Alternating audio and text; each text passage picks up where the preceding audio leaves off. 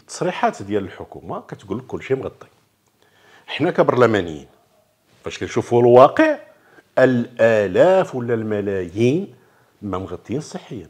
وفي الندوة اللي كانت مع فروق الأغلبية مع الأسف اللي ما عمر شي واحد تجرأ وقالها في حضور رئيس الحكومة. وقال بأننا هذا الشيء اللي كتقول المعارضة حتى حنا نعاني منه في الدوائر ديالنا وكاين شكايات بالمئات ولا بالآلاف في الدوائر ديالهم. البارح قالوها لأن كان لقاء داخلي ما بين الأغلبية وما بين الحكومة.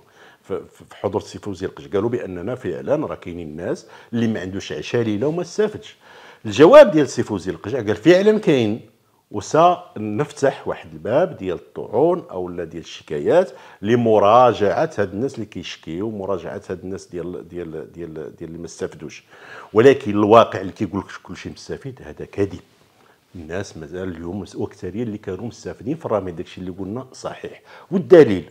التناقض اللي كاين في العرض ديال السي القجع. وأنا نعطيك هو كيقول لك 10 المليون.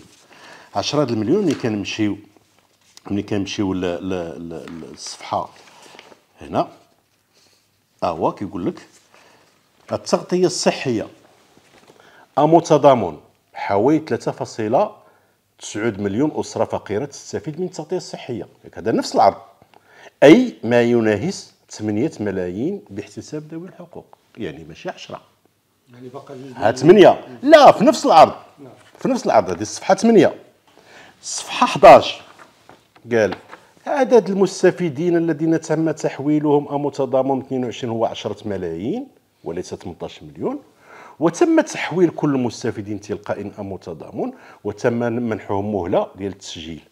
في بداية سنة 2023 وبعد نهاية المهلة أصبح المستفيدين 3.1 مليون أسرة أي من يهز 10 المليون دونك هادو جوج الوثائق متناقضين. 3.9 مليون أسرة فقيرة 8 المليون هنا 10 المليون ما فين مشات 2 المليون.